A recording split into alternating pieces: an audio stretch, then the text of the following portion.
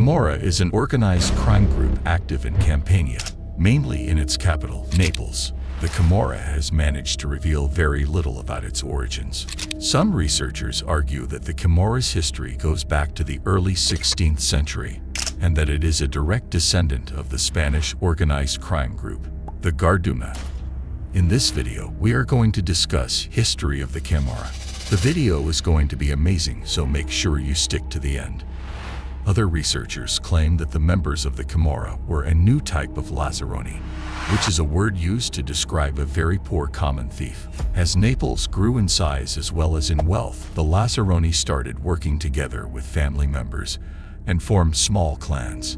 The Camorra has more than 100 clans and approximately 7,000 members, making it the largest of the Italian organized crime groups.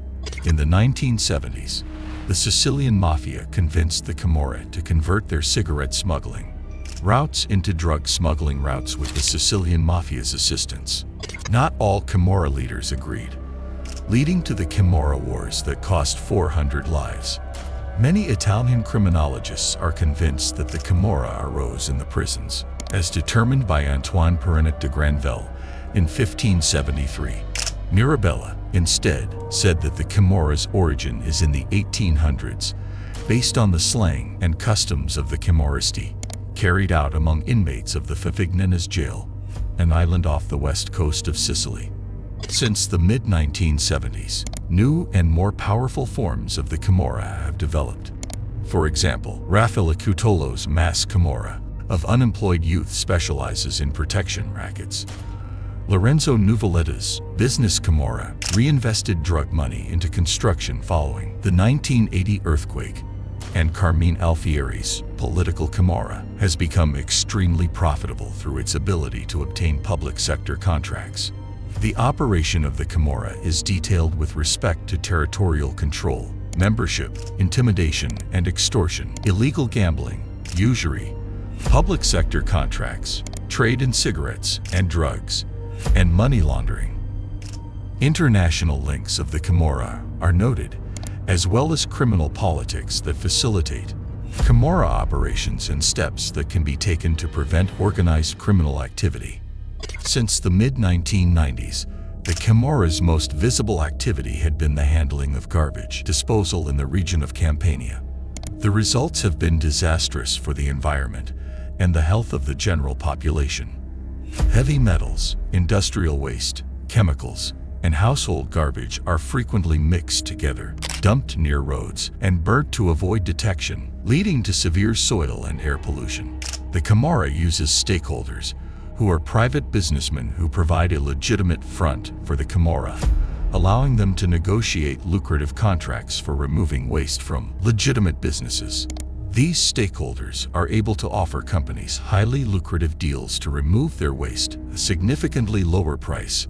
With little to no overhead, Camorra clans and their associates see very high profit margins.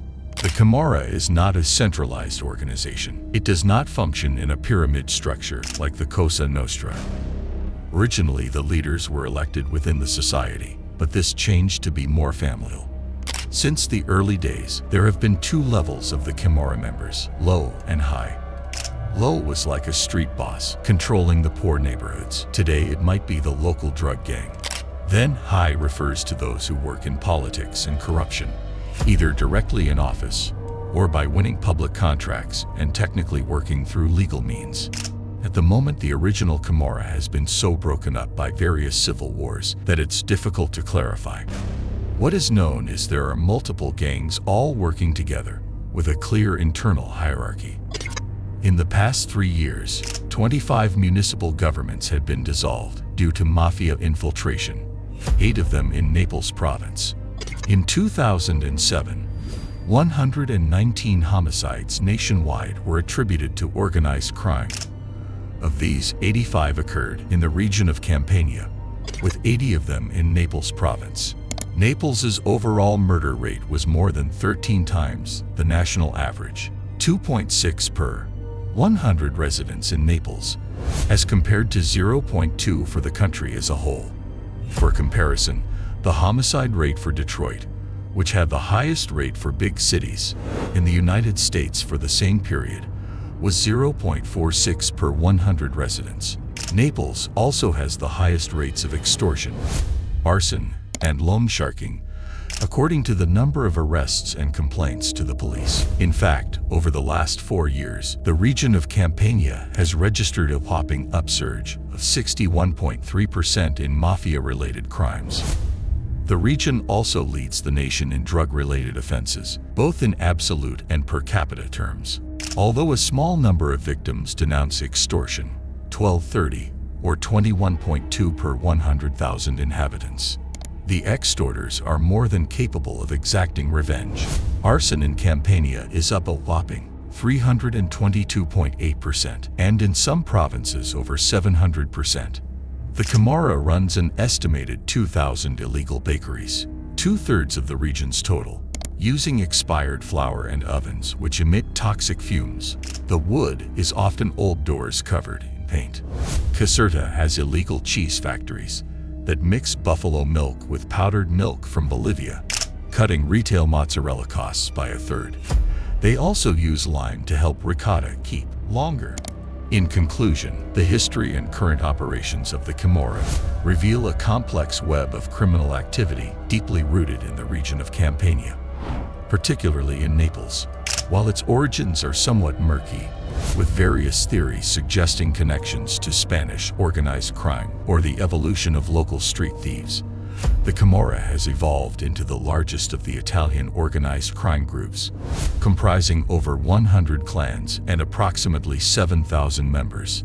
The Camorra's involvement in various illicit activities, from drug smuggling to extortion, has led to violent conflicts such as the Camorra Wars of the 1970s, which claimed hundreds of lives. For time, the organization has diversified its operations, engaging in activities ranging from illegal gambling to the manipulation of public sector contracts.